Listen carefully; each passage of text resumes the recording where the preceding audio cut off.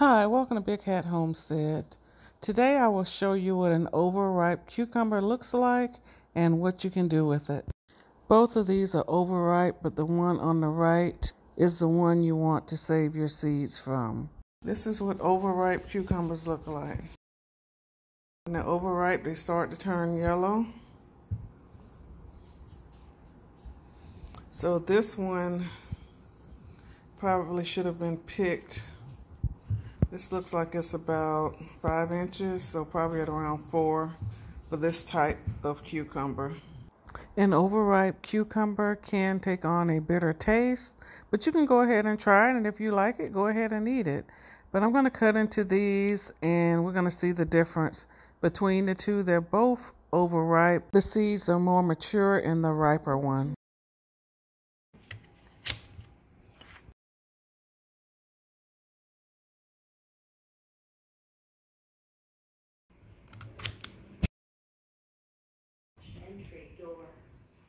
What I noticed right away is the one on the right, the flesh is separating away from the seeds, more so than the one on the left.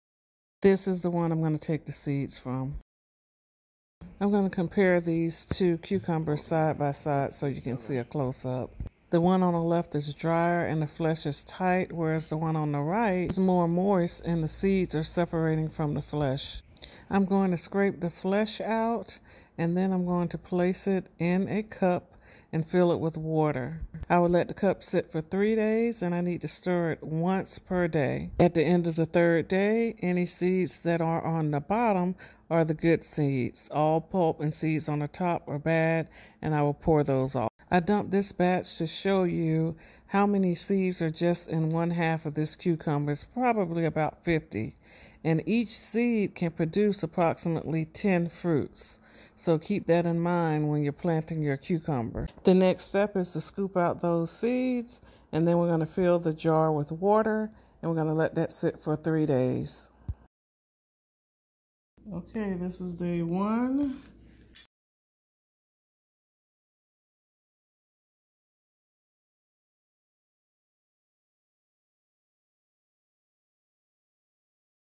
Okay, this is day two.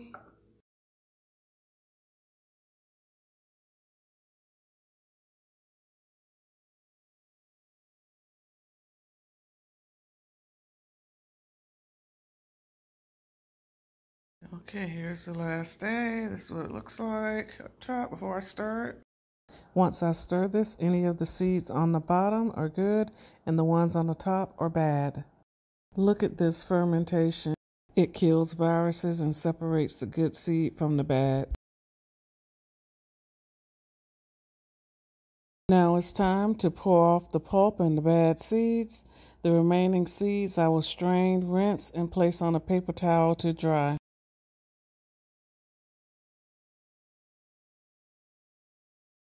Okay, here are the seeds. They're dried and ready to go in a container.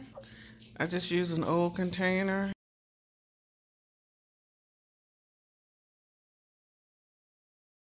Now drop a cotton wedge in there and an oxygen absorber.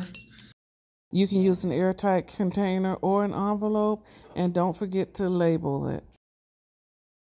Here are the seeds ready to go for the next planting.